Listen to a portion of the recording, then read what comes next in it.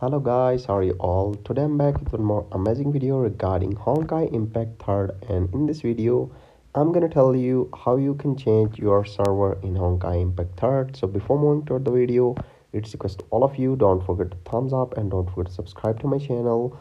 Let's get into a video. All you need to do is you just need to press on right bottom corner in this avatar.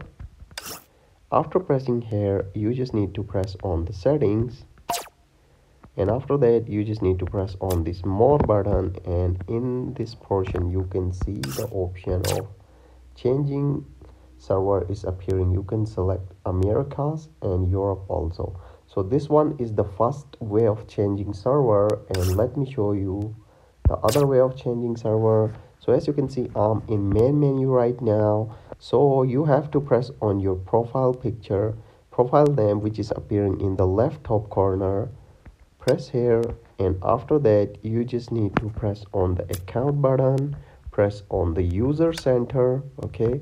This will take some time and you have to press on this switch account button and are you sure you want to switch account? Yes.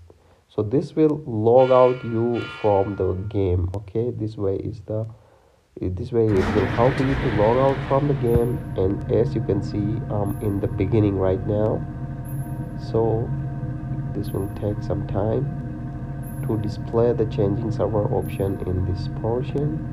So you guys have to wait.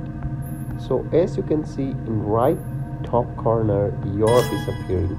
So you can also choose your server from this main menu and you can choose from the game inside okay? So these are the steps which you want to follow if you guys want to change your server in Hong Honkai Impact 3rd. Thank you so much for watching. Don't forget to thumbs up and don't forget to subscribe to my channel.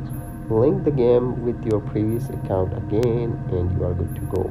So these are the steps which you want to follow if you want to change your server in Hong Honkai Impact 3rd. Take care. Bye bye. Boom boom. Ciao.